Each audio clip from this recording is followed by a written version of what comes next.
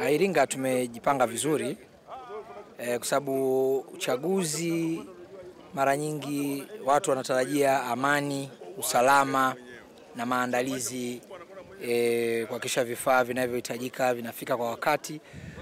Kwa hiyo sisi kama Iringa tumejipanga vizuri, tumejipanga vizuri kuhakikisha tutakuwa na usalama wa kutosha, tutakuwa na maandalizi ya hali ya juu na yale ambayo yanazungumzwa kwenye kanuni kuhakikisha kwamba tunayafanya kwa wakati e, lakini pia kuwahamasisha wananchi wetu waweze kwenda kujitokeza kupiga kura kuwachagua e, viongozi wanao wanaowataka.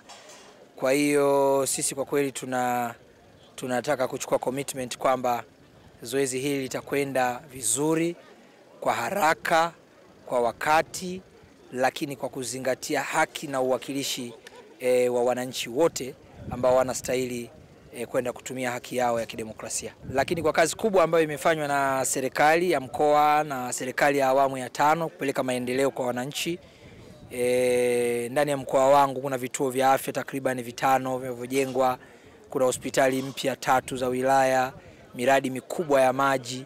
Sina shaka kabisa ya kwamba imani ya wananchi kwa serikali ya Chama cha Mapinduzi itakuwa ni kubwa sana na itakwenda kudhihirika kwenye uchaguzi huu wa serikali e, za mitaa. Maanake serikali za mitaa ndiko waliko wananchi wetu.